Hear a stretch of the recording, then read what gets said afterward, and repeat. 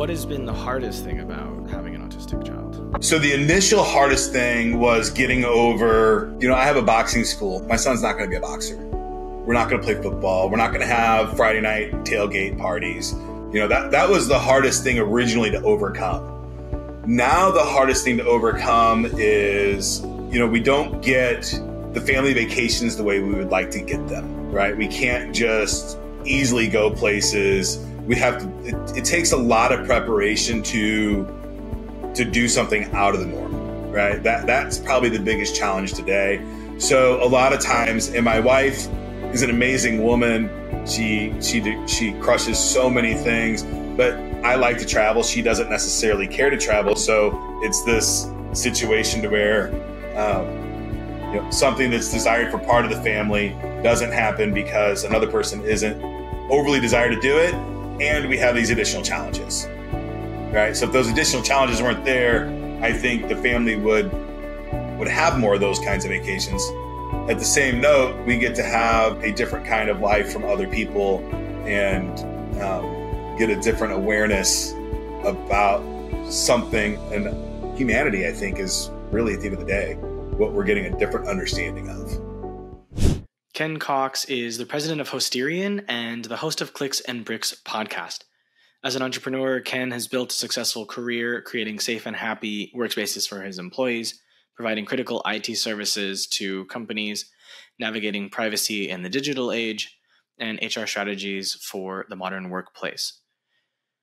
I am interviewing him a second time because when we were doing our first interview about digi- uh, digital privacy, it became clear that he has a son that is autistic. And I instantly knew I had to do another interview with him about what it's like having an autistic child as an entrepreneur for multiple reasons. One, as you may be aware, I recently interviewed Diva Diaz, who specializes in helping people with autism, especially entrepreneurs.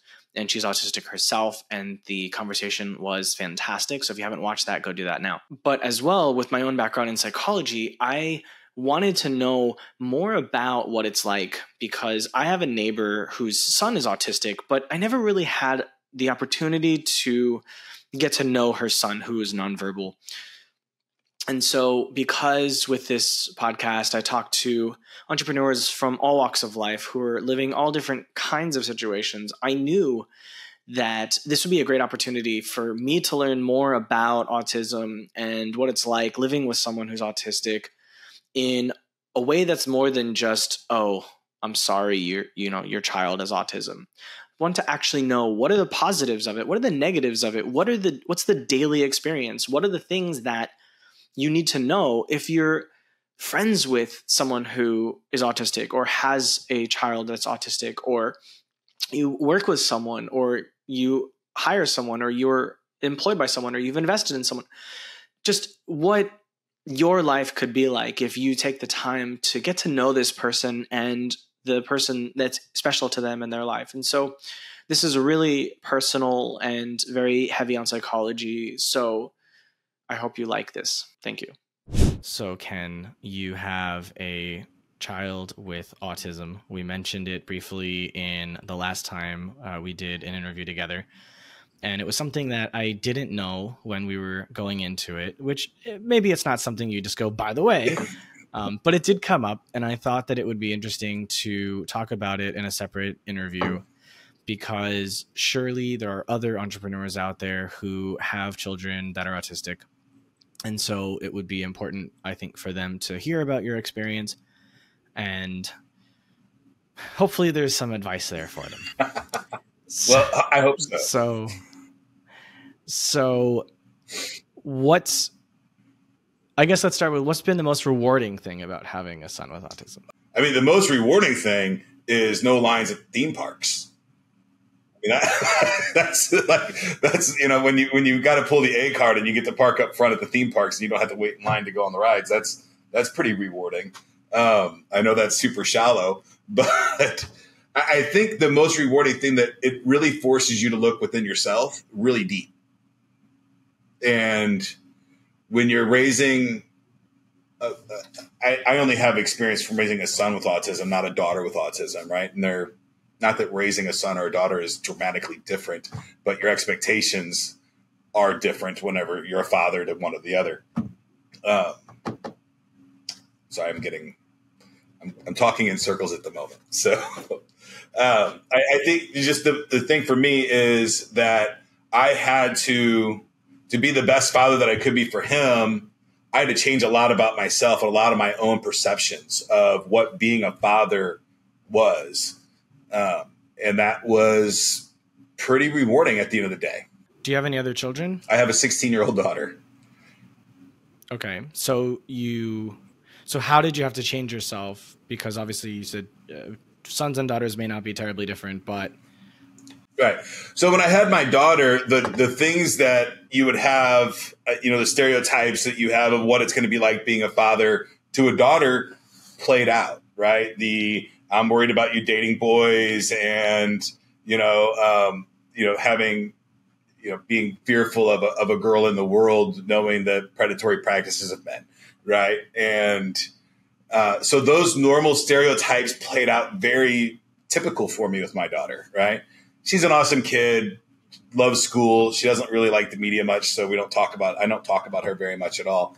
But then when i had my son nothing stereotypical played out right there was no catch in the front yard there was no bonding the way that you would that um, I think most dads want to bond with their son, right? That didn't happen. So I had to find new ways to be the best dad that I could be for the son that I had, not the son that I thought that I wanted. Um, you know, because if you have, I guess if you have a picture in your head of what your life's going to be like with a son, you create a picture. You think that that's what you want. So, how old was he when you got the diagnosis? He was two was two years old. were there any signs? Sorry, were there any signs beforehand? We knew something was different about Joe at six months. Right. And I would say, like, at six months, we knew that, that Joe was different. And right from birth, we could tell, man, this kid's, he's not like our daughter was, right? Super calm by himself, didn't really want to be held, was completely okay just sitting in the crib and dozing off into nothing. Um, you know, he didn't have a lot of the, you know, neediness, I guess, that a newborn child would have. Why do you think that is? I don't know. I figured it would be the opposite. I figured they might be more needy. Yeah, I mean, well, I guess emotional need and closeness need to another human. So he's he's lacking that. He lacked that at birth right? So the coddling, and the holding, the rocking, all those things, he would much rather, right from birth, be put in the crib and left left on, left on his own. What was it about that that made you feel like he was different rather than maybe he just is cool being like by himself? In the first six months, that's what we thought, right? But then when at the mm-hmm. six months mark, you know, you're starting to expect eye contact a little more. You're you're starting to expect more out of your child that um, on the the bonding side, right? The the emotional bonding side, and that just didn't happen with Joe. Like the you know goo goo gagas, looking at each other's eyes, playing with the face, those kinds of things. Mm-hmm. He just was never interested in. And what would he do instead? Sit, watch TV, um, play with his fidgets, right? But other people were not um, a concern to him at all or desire to be around. And so, when, uh, how long was it from when you started to talk to doctors until you got the diagnosis? So, at six months, we started talking with this pediatrician, um, saying, Hey, you know, we think something might be off. She's like, Yeah, we think something might be off too. It's a little early to get the diagnosis. So, um, he didn't start walking until he was two and he's and he still didn't talk. And I don't think it's untypical for somebody to not start talking until they're after two years old. So we got the diagnosis at two, two and a half years old, somewhere around there. Um, when when we thought that we could get um, a real diagnosis other than just some weird anomalies of oh they're not old enough to, to be able to do these things anyway. So what was the process of uh, getting the diagnosis like? It was challenging. Um, it was really expensive. The, the, insurance didn't pay for much of it. I think um, the full diagnostic cost for us was about five or six thousand dollars.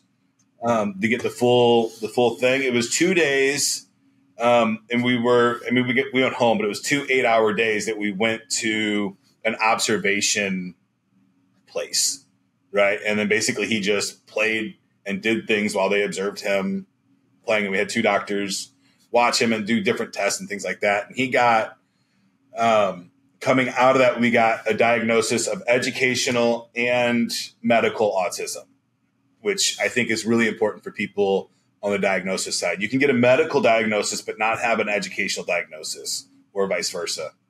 And having the educational diagnosis was huge for us in the public school system and getting him into the special school district um, and getting the resources that we needed for him to have uh, the proper education moving forward. What's the difference between the educational and medical? I don't know. I, I would assume that if you have the medical, you automatically have the educational. Um, but it, I think it's just the learning disability part of autism that they would also have.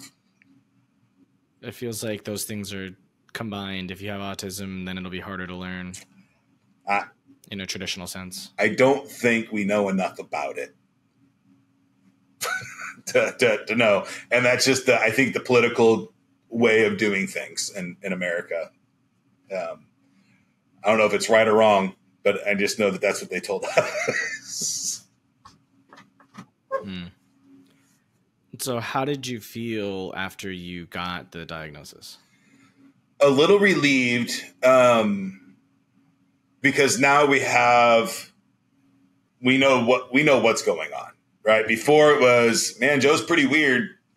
Uh, he does things different than other kids. He doesn't seem to to have. Um, at the time, he had zero acknowledgement of consequence and zero fear. Right, so walk right off cliffs, jump right off of things, um, you know, you know, run with steak knives. So there was just no concept of consequence at all. Why were you giving a little boy steak knives? I wasn't, but you know, he can climb. When, once he started walking, man, it went off. So our house today is ridiculous with locks and keys.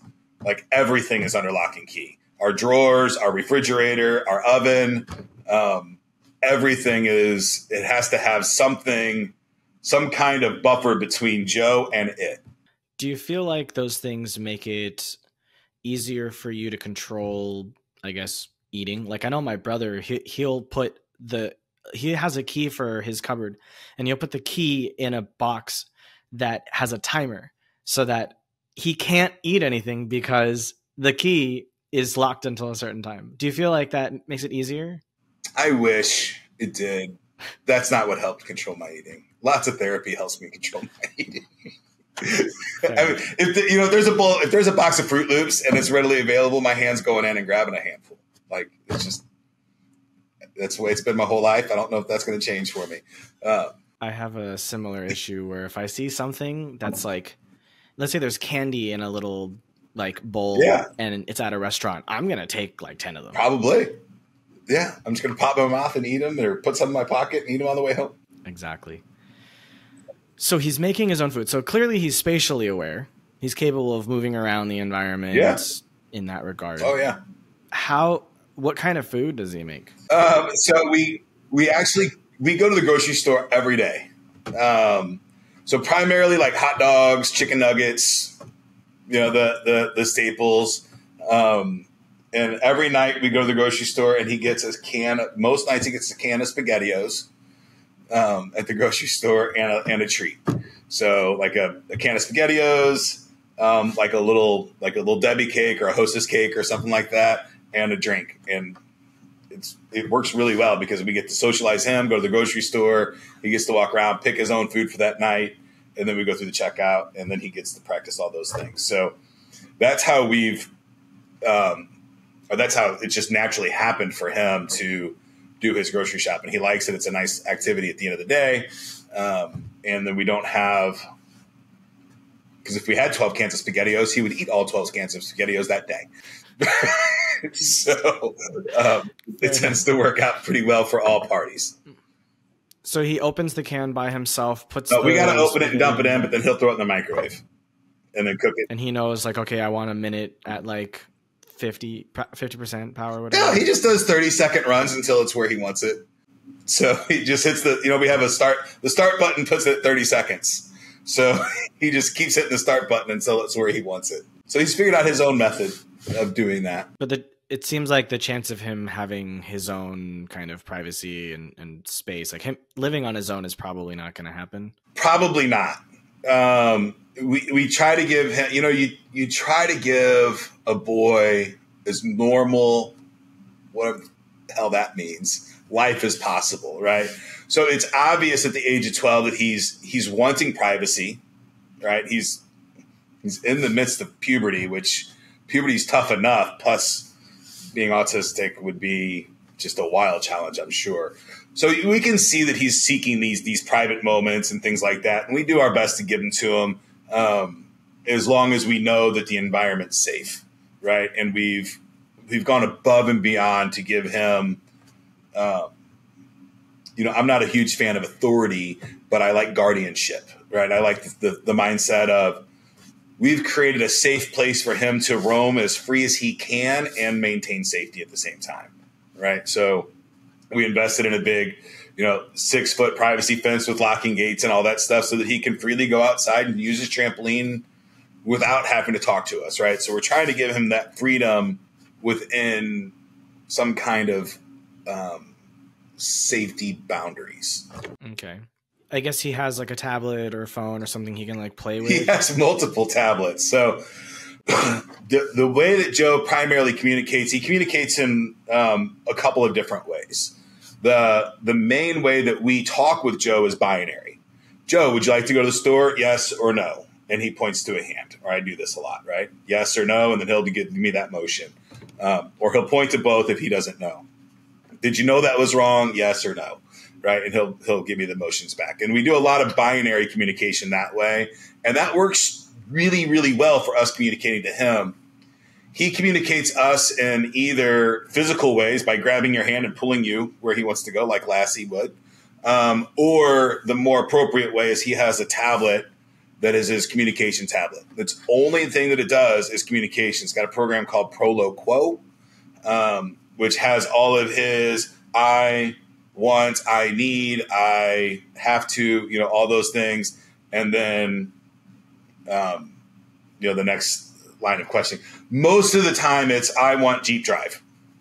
Market is, is what he says 90% of the time with that tablet. Um, but he can use it to do more things. If he wants something specific, he'll go through. So if he wants if we don't have chicken nuggets and he wants chicken nuggets, he'll find chicken nuggets on the tablet and say chicken nuggets. Okay. That's interesting. So I had a neighbor growing up, my mom and, and her. So it's my mom's friend's son. I think he's 26 now. He's also nonverbal. And I never saw him communicate maybe they didn't have tablets. I don't know. Maybe tablets didn't exist back then. But um, I, I never. It, I'm curious about it because I never had a relationship with him. Um, I did know that he loved toys, and I knew that there were times where he would get frustrated and he would start to be verbal about his frustration. He would he would utter vocalizations, grunts, or um, kind of screams where he just it felt like he was trying so hard to communicate and that was his goal and there was nothing else. It wasn't like i'm afraid or anything. It was just like hear me listen to me please i'm trying to tell you something and like he didn't know how else to to do it. So it's cool that at least he's got a tablet that he can try to say i want this thing i need this thing I, or anything. Um, does he ever approach you? Like you said, he, he pulls your arm. He tells you you want to go somewhere. Does he ever like walk up to you and just hug you? Does he ever have that sort of physical at all? No. So the and you know I, am a firm believer in um, that humans need physical touch, right? And connection of some kind. I think I, at least me as a human, I need that, and it's important to me. So we make a pretty big effort to put that into Joe's life. But if we didn't make that effort, um, I don't. Well, no, I'm wrong. I'm, I'm looking at this from my perspective. His ability to have physical um, touch with other people is there. Like he tries to hug his sister, right? And he likes to sit on the couch and cuddle with him with her. Uh, he likes to sit on the couch and cuddle with grandmas, right? But with me, it's he likes to wrestle, right? So my wife, when we when he was little, actually when my daughter was little, my wife has a, a small tattoo of a of a star on her wrist, and we turned that into a little a little gotcha button with my daughter. So when my daughter would touch it, it was gotcha gotcha, um, and that turned into the tickle button. So now Joe, when he wants somebody, when he wants to wrestle and roughhouse with somebody, if they have a tattoo, he will walk up to them and touch that tattoo, and that is his uh, way of saying, "Hey, I want to be rambunctious with you." Um, I have tattoos, and that's what he does to me too. So he'll walk up and touch my tattoo, and then I know that it's time to wrestle. Hey, just give me 10 seconds of your time. I really appreciate you listening to the episode so far, and I hope you're loving it. And if you are, I would love to ask you to subscribe to the channel because what we do is a lot of work. And every week we bring you a new guest and a new story. And what we do requires so much love so that we can bring you something amazing. And every week we're trying really hard to get better guests that have better stories and improve our ability to tell their stories. So your subscription lets the algorithm know that what we're doing is fantastic. And no commitment, it's free to do. And if you don't like what we're doing later on, you can always unsubscribe. And either way, we would love a like if you don't feel like subscribing at this time. Thank you very much, and we'll take you back to the show now. And that was he he learned he wasn't explicitly taught that. He just observed and and copied. I think he probably observed his sister touching it and got tickles, and then he touched it and got tickles, and dopamine reward system is pretty strong. Right. So we would we would call that uh, I believe it's operant conditioning. So he he was conditioned. So okay, so it's a, a normal response. That's interesting. I'm, yeah. I'm trying to like because I I've uh, you know I, I studied childhood development and I studied psychology and I studied how the brain develops, and so I've only ever really observed children that aren't autistic. Um, okay. And so I'm just trying to see where are there similarities and where are there differences um, from my experience. My yeah. So for me, my biggest similarity with Joe, um, you know, and I have a couple of these diagnoses that are undiagnosable as well for myself, right? I have I suffer from dissociative syndrome.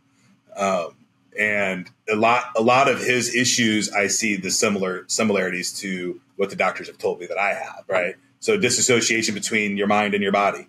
Um, it's very clear to me that he doesn't always have that. Right he he's doing always things have the an associ- he's not always associating. He's not always associating his his thoughts with his body right? So how um, how does that play out as a an outside observer? Unfortunately I think um, well, from an outside observer that under that has some, some of the same issues, um, the self injury is a big part of that. I think. Meaning, like what? Just lack of aware of surroundings, and therefore you end up getting hurt by accident. No, the so Joe has a couple self injury things, and they're much better now under the proper medication. Uh, so he doesn't bang his head anymore, you know. So oh, yes, I've, but then the the biting himself now is the biggest one. And I think that that's a way for him to associate this is really happening. This is my body, and I'm in, and I can control some aspects of it. Something that was really interesting, possibly off topic, but maybe linked, um, was locked in syndrome, where in the past people believed that if you're if you're in bed and you can't really move you're basically a carrot you're brain dead but it was later discovered no actually we've been pulling the plug on people that are totally there they just can't physically move or talk there's just something that's preventing them from reconnecting their mind to their body and, and being and, and even possibly the people who are in comas are still capable of processing outside information. They just have no way to communicate back. So that's it's interesting, and and like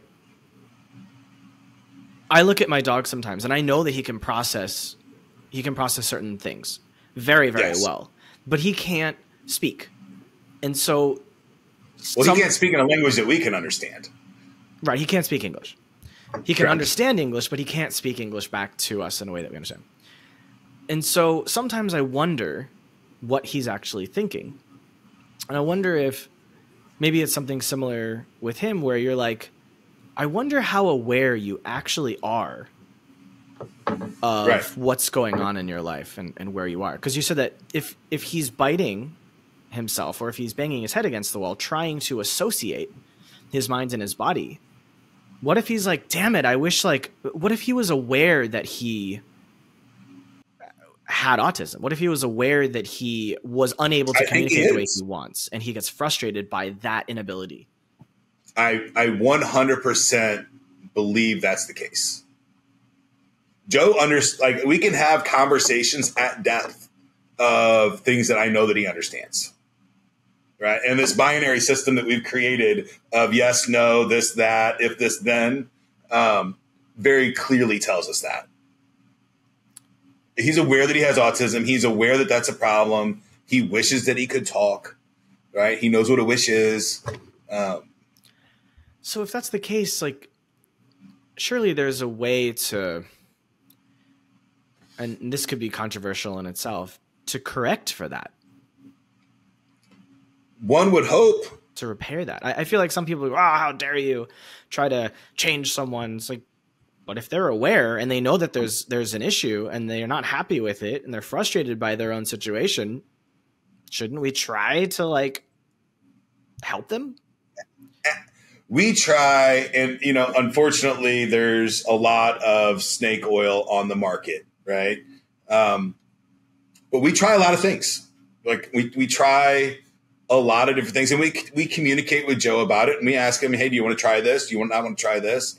I wish that we could try more right? I wish that the laws allowed us to experiment more with joe right? But they they currently don't. So we we live in a world of of high prosecution, so we don't.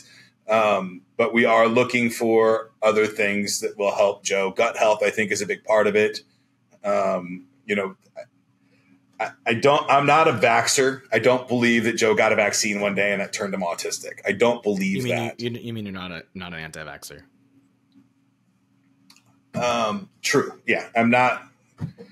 I have no. I have no horse in that rodeo. at, at, all. Um, I don't believe that Joe being vaccinated causes autism.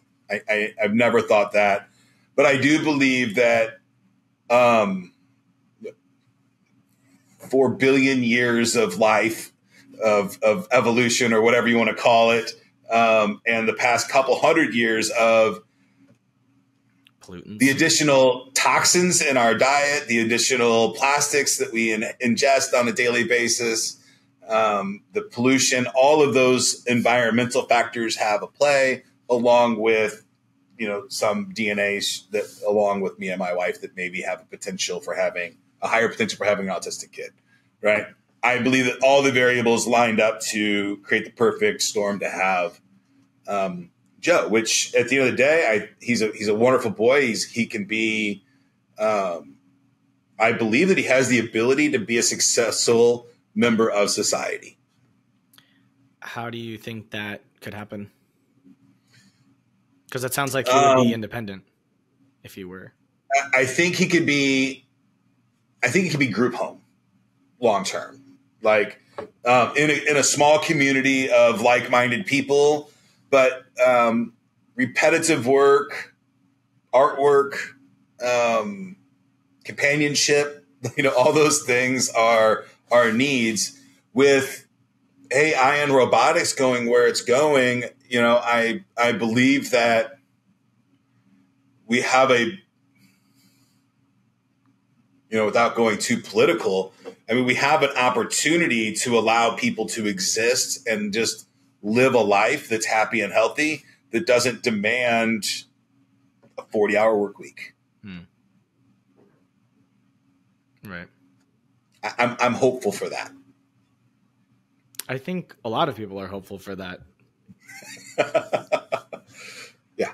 So it just it, it's gonna it's gonna be interesting. Um, you know, I'm hoping I have at least at least 20 more years on this planet with him. Get me near my 70s would be a delight. Uh, and what's going to be the next 20 years? Who knows? I think in the next 20 years, there will be a complete understanding of autism. My hope is there would be a cure. And again, maybe that sounds horrible, but it's not saying we're killing him. It's just going, we're enabling him to regain the ability to communicate, like verbal communication. You know, I can look into my son's eyes and I can look into other autistic people's eyes and I can tell, or I, I feel like they know things about life inherently that we don't understand. How so? They just seem to have a calm with the universe that is different than other people that I've met. A knowing about what life is about differently than than what I do. So I don't know that it's um, definitely there's crippling pieces of autism, right? Non-communication, not being able to communicate with your the people around you has got to be wildly frustrating. Um, especially when you're young and you have needs that aren't being met because you don't know how to communicate what you need that's got to be wildly frustrating. So I, I, believe that, you know, we already have interfaces that can take the energy from plants and solid material, any material, and then turn that into the frequency. Um, we've already mapped, you know, um, non-human communication, right? We have uh, plant life can have, has up like 50 words that, that they're communicating back and forth with each other. I, I, feel resources. like we just, yeah, so I, I believe that there's there's got to be an interface that we can map individual language from the frequencies that are coming from their brain. I don't know how to do that. There but- is there, there's actually something that I can't remember the name of it, but there was a study that came out recently. Like the the results of an experiment.